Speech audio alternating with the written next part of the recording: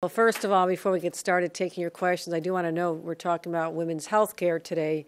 And uh, our celebration here in New York is a little bit bittersweet because we know what we're doing here in the state of New York to protect women uh, during pregnancy, new babies, making sure they're healthy, but also making sure that women have options, that uh, reproductive choices are their own. So, what is happening here is so different than what we're seeing across the nation.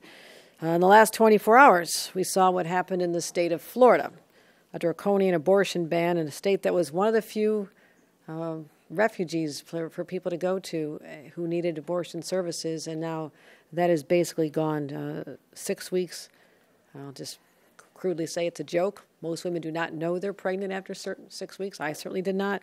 Uh, so it's basically saying women have no rights to an abortion in the state of Florida.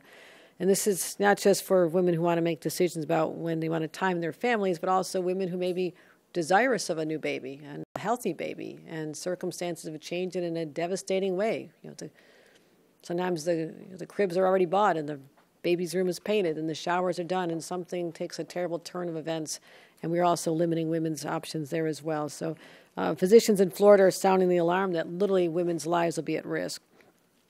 On the other hand, we saw in Arizona uh, a couple of uh, outlier brave Republicans uh, who crossed the line and voted with the Democrats to protect reproductive rights, uh, because, as we know, the Republican-controlled Senate or state court resurrected an ab- abortion ban that was on the books since, yes, the Civil War.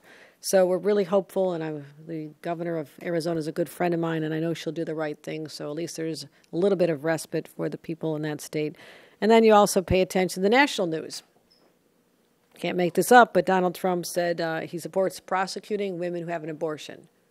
Yes, he said that. He won't rule out a national abortion ban, and he won't rule out banning IVF, which for so many families in this country is the only option they have to start a family that they want to have. But we are in New York. We'll continue to stand tall, always be that safe harbor for women, and women in the state of New York know that as long as I'm their governor, uh, I will fight uh, every battle that comes our way to ensure that these rights are protected here. So.